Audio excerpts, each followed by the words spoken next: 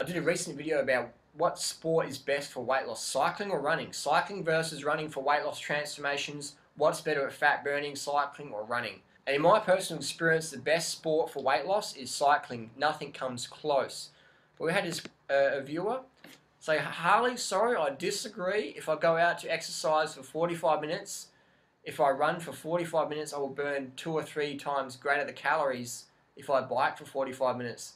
That is what it comes down to, which is the best use of my time. Running, no contest. That's, I mean, running's good if you're really fit. Like this viewer is obviously very fit. Because if you can burn three times the calories going for a run than you can for a bike ride, man, you must be fucking fit. Because I can't even do that, and I'm running, you know, sub 17 for 5,000 meters, and I'm running sub three hours for marathon. So that's that. This person's obviously doing some, you know, real full-on fitness. So if you're as fit as this person, then running is going to be better for calories. But you know, this person is so fucking fit because if you can burn three times the calories going for a run than 45 minutes of bike riding, then you are must be a fucking Olympic level runner.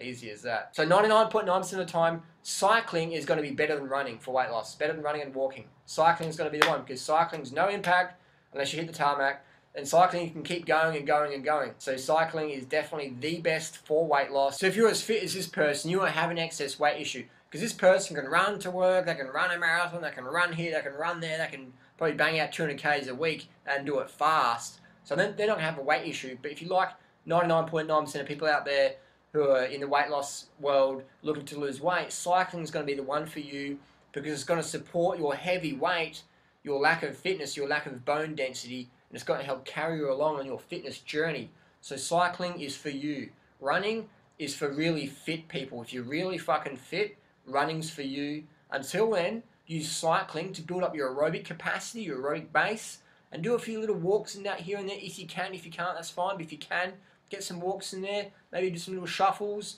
or maybe if you're light enough, do some jogging just to build up your bone density over the years. But use cycling as that to carry you along on your weight loss journey, your fitness journey. Because cycling is just like incredible. But if you go out and try and run when you're overweight, you're gonna fucking stress fracture your legs, you're gonna fuck up, you're gonna break your metatarsals, you're gonna have knee recons, you're gonna fuck up your back. Don't run if you're heavy. If you're a heavy person, use the bike to get lighter and fitter and use the high carb, vegan, low fat lifestyle to get lighter as well. So follow those guidelines. You're going to be in a winner. Cycling's number one for weight loss. Uh, but for fitness, if you only had one hour a day and you're already super fit, then yeah, running is going to give you a better better workout. If you're already super fit, like this person or myself, but if you try and do running a lot when you're not when you're a newbie, you're going to fuck up. Even I can't run 45 minutes a day. That's too much for even me. 45 minutes a day. I can ride my bike though, but running, no way.